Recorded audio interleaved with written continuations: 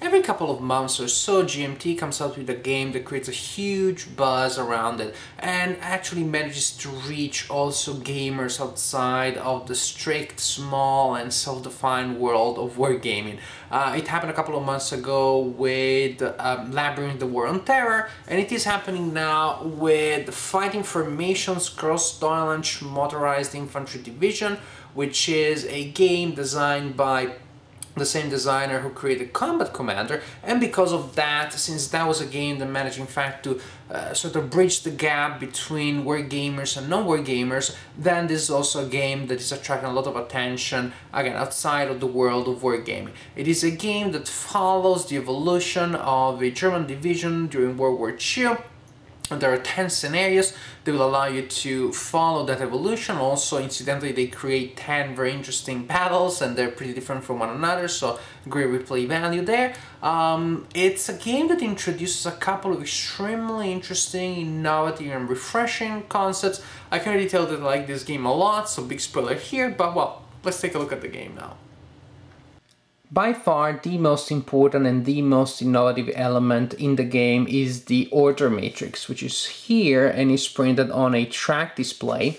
The order matrix is divided in 10 bands and it has an order written on each side of each band. One side of the matrix is used by the German player and one other side is used by the Russian player. In fact, in order to perform actions, the players need to remove a cube for, from the matrix and then they will be allowed to perform the corresponding order or any order listed below it on the uh, order matrix. For example, if I'm the German player, I remove that cube, then I can perform the sniper action or any of these other actions here. If I am the same, the, the Soviet player, I remove this same cube, then I can perform the assault action or any actions below the assault. Each time a cube is removed from the order matrix, the corresponding price in terms of initiative needs to be paid, and that price is recorded here on the initiative track. When you remove a cube, you move the initiative pawn um, a certain number of spaces in the direction of your opponent's track. For example, if I'm the German player, I removed the cube that was on the 7 band of the order matrix, then now I need to move the initiative pawn by 7 spaces, one, two, three, four, five, six, seven, towards the Soviet side of the initiative track. And this is of immense importance because the turn is not divided in a standard sequence of I go, you go, but the player whose initiative is, the player that retains the initiative by having the pawn on his side of the initiative track, can keep performing actions until the pawn reaches the other half of the initiative track. For example, now it would be the turn for the Soviet player to act because the pawn is on the Soviet side of the initiative track.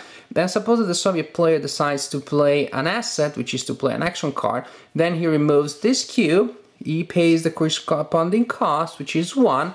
After that action is resolved, the initiative pawn is still on the Soviet side of the matrix, of the initiative track. So now the Soviet player can perform another action. Suppose he decides to move his units, then the pawn moves like that.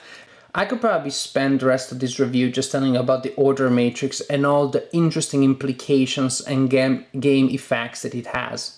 For example, as you can see, the same orders are not necessarily written in the same band of the order matrix. For example, assault would cost 5 points of initiative to the German player, but would cost 7 for the Soviet player. That means certain actions are more complex and more expensive for certain players, and in other games, probably in order to model this, you would have an entire set of rules, sub-rules, exceptions. Oh, I have to keep in mind modifier for the Soviet player. Oh, but there is another type of modifier when the German player is executing such and such action. Not here. The order matrix keeps it all together. It's all there it's all visible and it's all it's all so economically presented that it really allows you to concentrate on the action of, on the board and to see the flow of the action rather than spending most of your time just browsing the rule book to look for that small exception that you are afraid you are forgetting after spending the initiative necessary to remove the cube from the order matrix, the players may need to pay additional initiative costs based on the situation on the board. In fact, the players will have a certain number of these command tokens, um, and each command token has a side with a zero reading on and another side with a one reading on. Um, once they or issue an order, they can place one of these command tokens anywhere on the board. Actually, they can place them at any time during the game, but usually you do it uh, before you execute an action. Each command token has a certain range and the scenario will tell you uh, what is the range. Suppose in this case that the range is 2, so every Russian unit which is within 2 hexes will be in command will be brought by command under this mission command token here and there is a zero side up. That means that after I spend the the price for removing the cube, I can execute the order corresponding to the cube without paying any extra uh, initiative as long as the units are being activated by this command marker here. For example, these units would be able, so suppose that the order was moving, I, I pay the price for moving and then I can move all these units uh, for zero extra initiative just because they are being moved by that uh, command token. And I can perform any order uh, this turn with these units without spending any extra initiative precisely because the command token is with the zero side uh, face up. At the end of the turn, however, I had to flip this marker, that means the next turn, units that are being activated by that command token will have to spend one extra point of initiative. Suppose I decide to move this group of units here, then I spend the usual price to remove the cube, and then I had to spend four extra initiative points, one per um, unit that has been activated by that uh, command marker. Also, at the end of the turn in which the command marker is with the one side face up, the, the command marker is removed and will enter the game later. So in the meanwhile, I have to use other markers or just wait for it. In fact, at any time, you can actually move units that are not being activated by any command marker. The problem is that each time you activate one of these units to perform an order, suppose I decide to move this unit here, then you have to spend two points of initiative per unit. So that is extremely expensive and really should be avoided at all costs. Other actions that you will take include basic movement, which allows you to move any and all of the units on the board, depending on how much initiative you want to spend, and basic fire, which again allows you to fire with all of your units if you want to spend that much initiative. And then you have variations on those two basic orders. For example, you have assault, which allows you to move your units at half speed and still attack, but with a penalty, or advance, which allows you to move your units by only 1x, but in that case they're moving very carefully and they do not draw opportunity fire. When you're doing fire combat, the first thing that you do is to determine the size of the dice that you will be using. The game comes with 5 types of dice, 6, 8, 10, 12 and 20 sided dice. A firing unit will usually use 10-sided dice, however the size of the dice will be modified based on several factors. For example, at close range you have a plus 1 class of dice. If the range is long or extreme, then you lower the class of dice. There are then other things, for example, if the unit is moving during an assault, then you also lower the class of dice by one. After determining the dice that are going to be used in that combat, you determine hindrance. Uh, each attack has a basic hindrance number of 1. The number can become higher if the attack passes through an hex which has a higher hindrance value. Hindrance just means that the terrain in the hex degrades the line of sight, making, making it worse without exactly stopping it. For example, if this unit is attacking this other unit here, the hindrance will be 2 because 2 is the hindrance value of rough terrain. Uh, you have to keep in mind the hindrance value when you're rolling for attack. This unit rolls 2d10 because if any of the numbers that are rolled are equal, is equal or lower than the hindrance value, then the attack is an automatic miss. In this case, oops, it would be a miss, the, the shot just gets lost in the hindrance. Otherwise, if it is higher than that, uh, the attack actually reaches the hex. It does not necessarily mean that it hits the target, but at least it reaches the destination. Once you have the number, and suppose again the attack hasn't been stopped by the hindrance, you finally add together the number that you rolled, in this case would be a 12, with the combat factor that you're using. This unit would use this number here, the one with the white background, when attacking infantry, and this other number here, the one with the black background, when attacking armor. In this case would be 12 and 12, 24.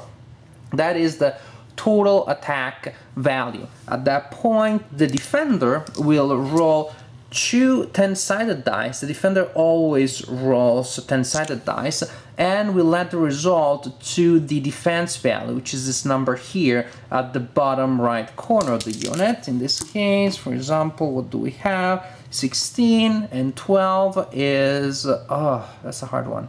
28, yes, if the defense value is the same or higher than the attack value, then nothing happens. If the defender actually gets a lower number, so the total of the defender is lower than the total of the attacker, then the defender takes a hit.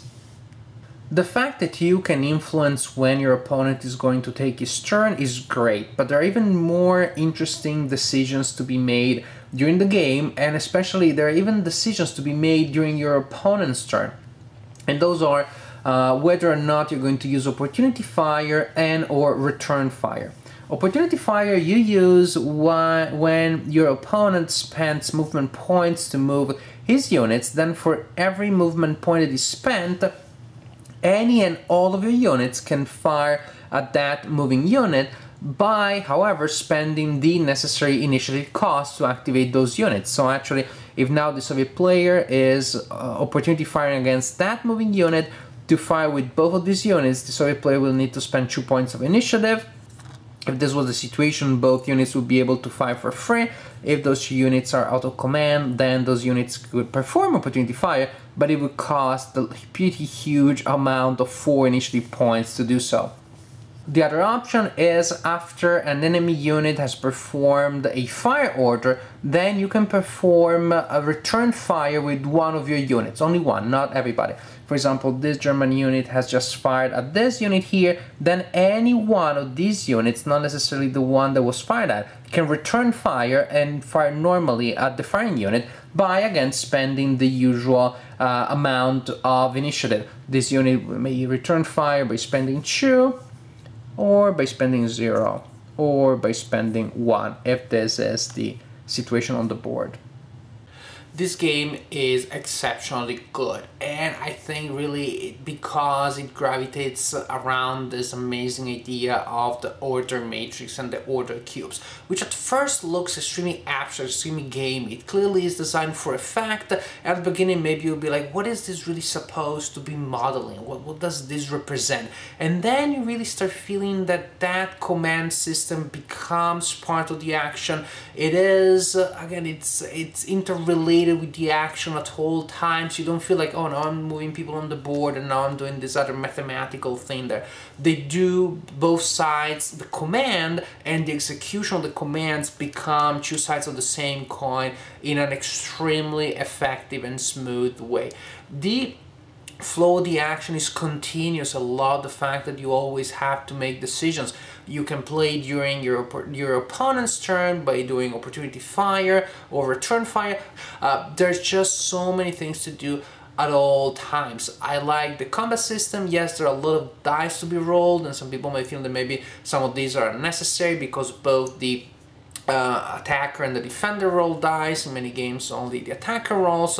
But again, actually I don't feel that is a problem. I like the fact that again I'm there in a certain way when I'm defending. I feel that it's still my responsibility to roll well. I'm still uh, there. To me, this is one of the most exciting and riveting tactical games I played in a long time.